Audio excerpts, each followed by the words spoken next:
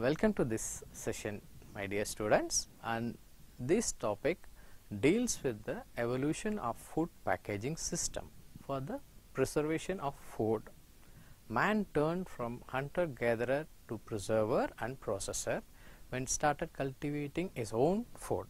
The basic techniques in preservation were drying, freezing and fermentation. All the above techniques were in a smaller scale until the turn of the 19th century when French scientist Nicolas Appert invented the preservation by canning and thereafter techniques evolved. The recent demand for near fresh quality and shelf-stable product have resulted in many innovative processing and preservation techniques. Foremost are retortable pouches, aseptic packaging, controlled atmospheric packaging, vacuum packing and recent one and more promising technique is modified atmospheric packaging. So, let us know what is the history of the modified atmospheric packaging. So, MAP it is shortly called as MAP. MAP was first recorded in 1927 to extend the shelf life of apples by storing them with reduced oxygen and carbon dioxide concentration by the Spencer's group.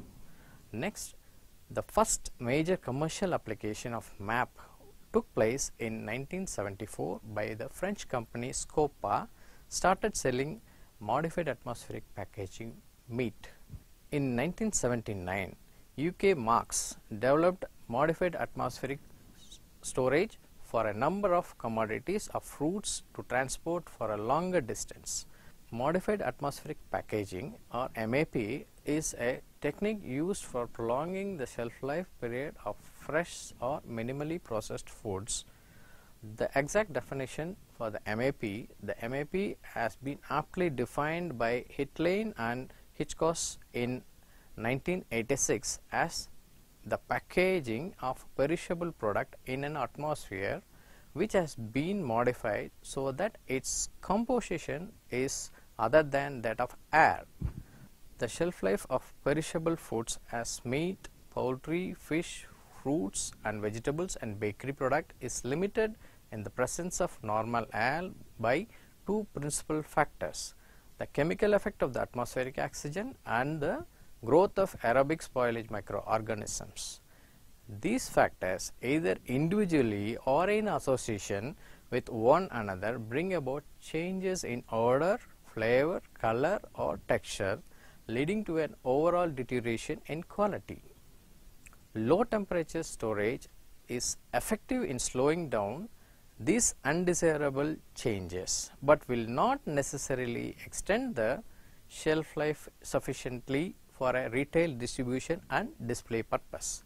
The modified atmospheric concept for the packaged goods consists of modifying the atmosphere surrounding a food product by vacuum, gas flushing or controlled permeability of the pack thus controlling the biochemical, enzymatic and microbial action so as to avoid or decrease the main degradation that might occur. This allows the preservation of the fresh state of food products without the temperature or chemical treatment used by competitive preservative techniques such as canning, freezing, dehydration and other process. So, MAP, MAP that modified atmospheric packaging is the replacement of air in a pack with a single gas or a mixture of gas. The proportion of each component is fixed whether the mixture is introduced. The normal composition of air is 21 percent oxygen, 78 percent nitrogen and less than 0.3 percent carbon dioxide. Modification of atmosphere within the package by reducing the oxygen content while increasing the level of carbon dioxide and or nitrogen has been shown to significantly extend the shelf life of perishable foods at chilling temperatures.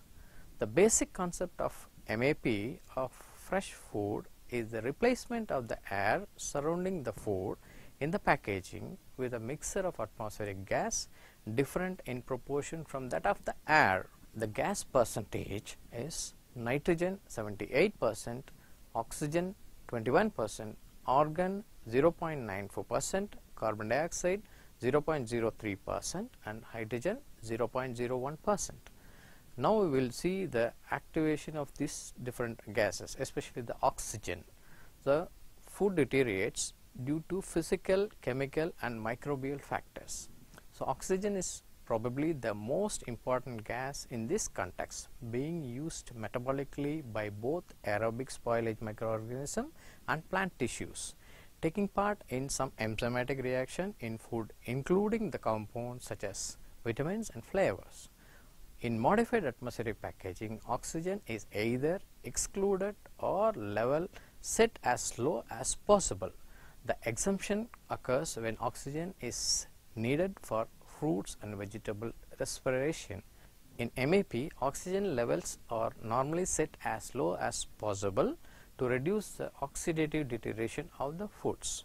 Oxygen will generally stimulate the growth of aerobic bacteria and can inhibit the growth of strictly anaerobic bacteria.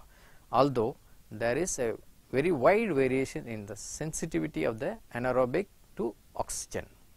Next we will talk about the carbon dioxide. The carbon dioxide is both water and lipid soluble and although it is not a bactericide or fungicide, carbon dioxide has a bacteriostatic and fungistatic property. The overall effect on microorganism is an extension of lag phase of growth and decrease in growth rate during the logarithmic growth phase.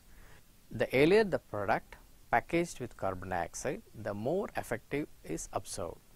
Bac this bacteriostatic effect is influenced by concentration of carbon dioxide, the partial pressure of carbon dioxide, volume of headspace gas, the type of microorganism, the age and the load of initial bacterial population, the microbial growth phase, the growth medium used, the storage temperature, acidity, water activity, and the type of the product being packed.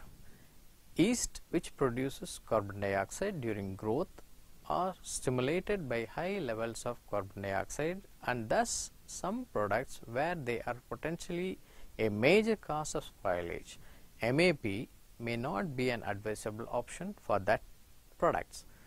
The food associated pathogens Clostridium perfringens and Clostridium botulinum are not affected by the presence of carbon dioxide and their growth is encouraged by the anaerobic conditions. In general, carbon dioxide is most effective in food where the normal spoilage organisms consist of aerobic, gram-negative psychrotrophic bacteria. The bacteriostatic effect of carbon dioxide has been known for many years. The precise mechanism if its action is still a subject of considerable interest. There have been many theories regarding the way in which carbon dioxide exerts its influence on the bacterial cell. These can be summarized as follows. A. Alteration of cell membrane function including effect of nutrient uptake and absorption. Direct inhibition of enzymes or decreases in the rate of enzyme reaction. C. Penetration of bacterial membranes leading to intercellular pH changes. Direct change to physicochemical properties of protein. The next gas what we are going to see is nitrogen. So, nitrogen is an inert tasteless gas which displays little or no antimicrobial activity on its own. It is less soluble in water and fat. The presence of nitrogen in a MAP food can prevent pack collapse that can occur when high concentration of carbon dioxide are used. Displacing oxygen with nitrogen in a pack can delay oxidative rancidity and also inhibit the growth of aerobic microorganism. In foods such as nuts, removing oxygen to less than 1 percent by nitrogen flushing helps to prevent oxidative rancidity of the fats. The nitrogen can indirectly influence the microorganism in perishable foods by retarding the growth of aerobic spoilage organisms. The second role of nitrogen in MAP is to act as a filler gas and keeps flexible packages from developing a vacuum. Exactly what combination of gases is used depend on many factors such as the type of product, packaging material and storage temperature. The packaging system selected must have a sufficient headspace to provide enough gas to interact with entire product and to the length of the period the product has to be stored. The longer the required shelf life, then the larger the headspace should be maintained. So, now we will go for the gas mixtures. So, gas mixtures what are they? there are three types of gas mixers used in the modified atmospheric packaging. One inert blanketing only the nitrogen gas. Two semi reactive blanketing with carbon dioxide, nitrogen or oxygen and carbon dioxide or nitrogen. So, fully reactive blanketing is carbon dioxide or carbon dioxide and oxygen the packaging materials, there are six main characteristics to consider when selecting packaging materials for the modified atmospheric packaged foods. First is resistance to puncture, second is sealing reliability, third is anti-fogging property, fourth is carbon dioxide permeability, fifth is oxygen permeability and sixth water transmission rate. Although an increasing choice of packaging materials are available to the MAP industries. Most packs are constructed from four basic polymers, one polyvinyl chloride, polyethylene terephthalate, polypropylene and polyethylene. So, what are the types of machines we are going to do this? Machine systems for the MAP.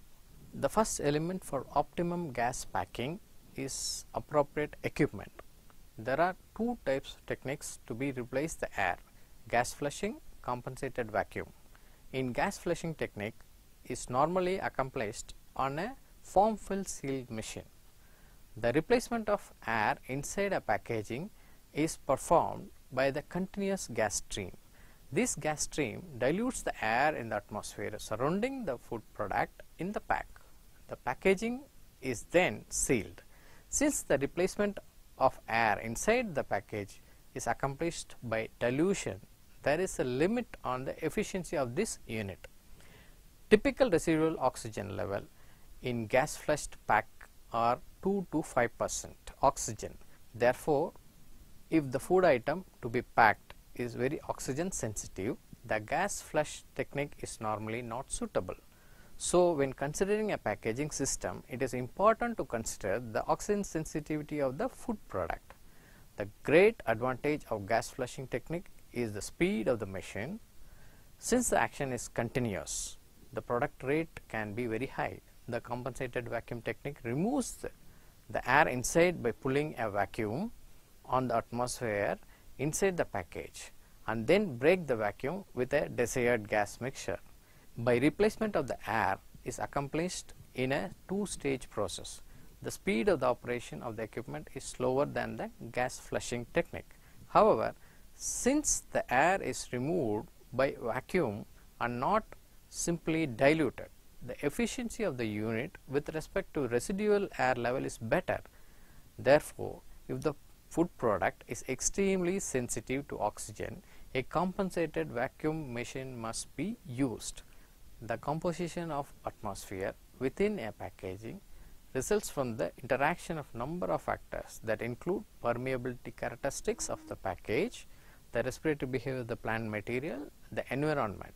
The films making up the packaging are selected to have a specific permeability characteristics and changes in these characteristics over the time, temperature and humidity follow known physical laws the environment can be controlled to provide specific conditions. In contrast to these known and controllable factors are the often unknown and uncontrollable response of the plant materials. The plant specific cultivars, cultural practices, stage of development, manner of harvest, tissue type and post-harvest handling all contribute and influence the response of the material to generate atmosphere.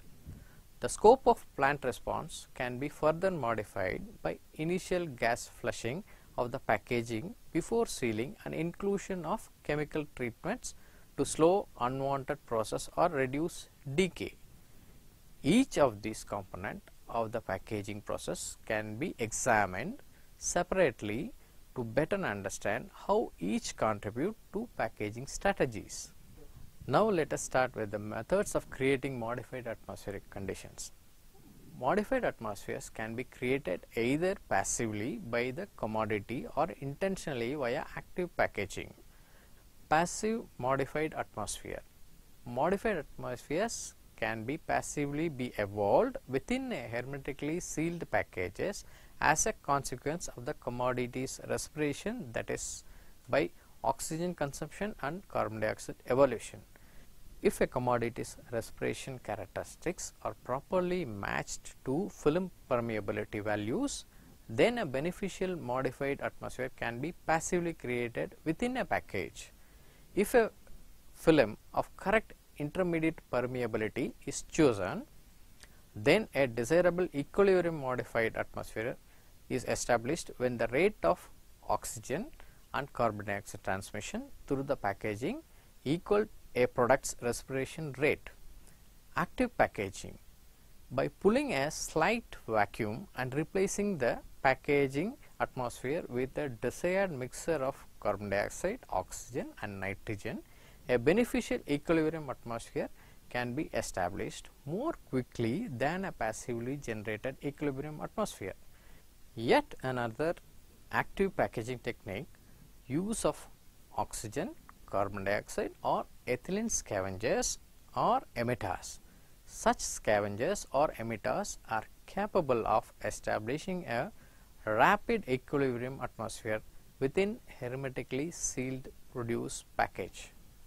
So, now let us see what are the advantages and disadvantages of modified atmospheric packaging. So, what are the advantages of modified atmospheric packaging? Is increased shelf life allowing less frequent loading of the retail display shelves, reduction in retail wastage, improved presentation, clear view of the product and all around visibility, hygienic stackable pack, sealed and free from product drip and odor, easy separation of sliced products, little or no need for the chemical preservatives, increased distribution area and reduced transportation cost, due to less frequent deliveries, centralized packaging and portion control, reduction in production and storage cost due to better utilization of labor, space and equipment. Now let us go for the disadvantages of modified atmospheric packaging. Capital cost of the gas packaging machinery, cost of gases and packaging materials, cost of analytical equipment to ensure that correct gas mixture are being used the cost of quality assurance system to prevent the distribution of leakers and etc. Increased pack volume which will adversely affect the transport cost and retail display space. Potential growth of foodborne pathogens due to temperature abuse by the retailers and consumers.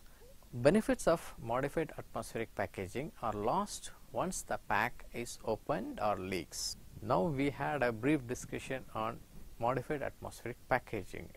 In the next session, we will be knowing about the packaging material. Thank you for your kind attention.